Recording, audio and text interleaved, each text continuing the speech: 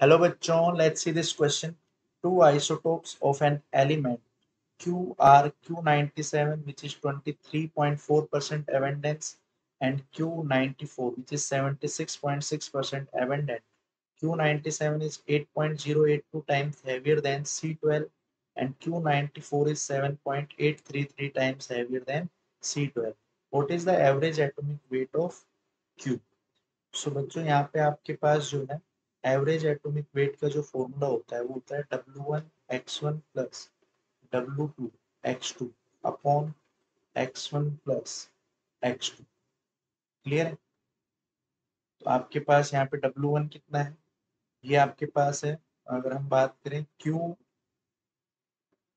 Ninety seven की ना? Ninety seven जिसको अपन डब्ल्यू वन मान लेते हैं, इसका डब्ल्यू है eight point zero eight two times carbon twelve which is twelve और इसका एक्स वन जो है अबेंडेंस हुआ है ट्वेंटी थ्री पॉइंट फोर ऐसे क्यू नाइन्टी फोर जो है, वो seventy six point six percent abundance है, और वेट है जो डब्ल्यू टू वो है कितने टाइम्स हैवियर है seven point eight three three times तो कार्बन का है ट्वेल्व अब आप लिखो W one is 8.082 into 12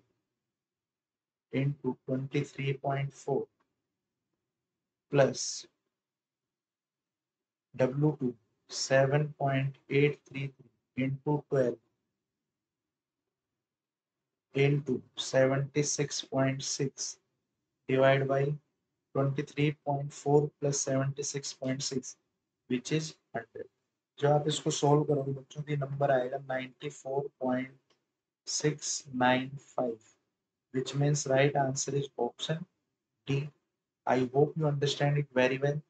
thank you all the best